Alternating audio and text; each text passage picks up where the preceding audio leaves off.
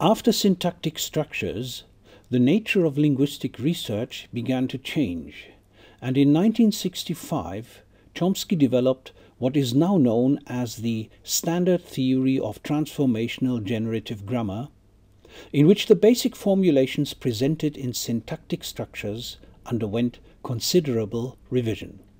In aspects, he specified the fundamental distinction between competence and performance, looking at a grammar of a language as a description of the ideal speaker's intrinsic competence, which in turn is a system of generative processes. These processes start in the syntactic component, which consists of a base and a transformational component. The base consists of a categorical subcomponent and a lexicon. It generates a deep structure which receives a semantic interpretation in the new semantic component.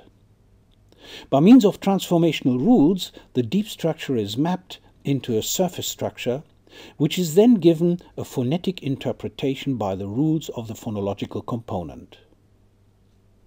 The addition of a semantic component to the grammar was the most important conceptual change since syntactic structures. It is reminiscent to Katz and Postal's suggestions in 1964. Among the more technical innovations are the use of recursive phrase structure rules and the introduction of syntactic features in lexical entries, the system of subcategorization.